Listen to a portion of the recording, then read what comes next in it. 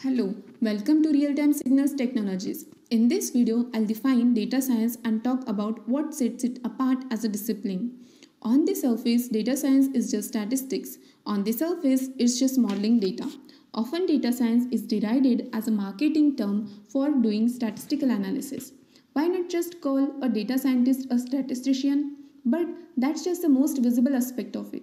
You need to know your statistics well enough and have some mathematical intuition to carry out data science. But you also need programming skills, domain specific knowledge, and communication skills to share the results with your colleagues. Where does the data come from? I'd argue that gathering data, filtering, scrubbing, converting, transforming, and aggregating it, all of what now comes under the umbrella termed data wrangling. Data wrangling is the most important, if not the most time consuming aspect of data science. This is where the programming and software development side of data science mostly happens. The data analysis step is the process of data science involves all of the usual statistical analysis concepts and tools that a statistician normally works with. Sampling data, measuring, estimating, modeling, hypothesis testing, and things like confidence intervals and margin of error, etc. But this is just one step in the full range of a data scientist.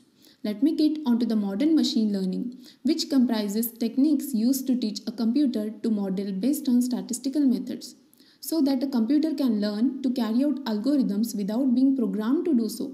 So, we call this learning in a supervised learning way or unsupervised learning way. And then you get all the modeling techniques like regression, using Bayesian analysis, classification, clustering, things like forests and trees. For example, if we input a million images of cats, we have a supervised learning method of cats images. We feed it into a machine learning classification algorithm and we determine if it can deduce or teach a computer to look at the pattern of cat images and apply it to any image it receives so that the machine has learned to see cats when they appear in pictures.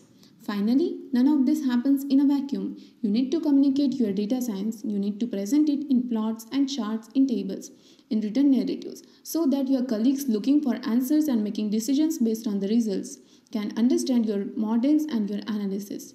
In my view, any comprehensive multidisciplinary field or work of study is hard to describe.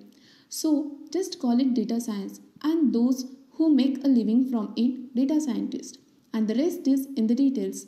And that concludes this presentation on what is data science.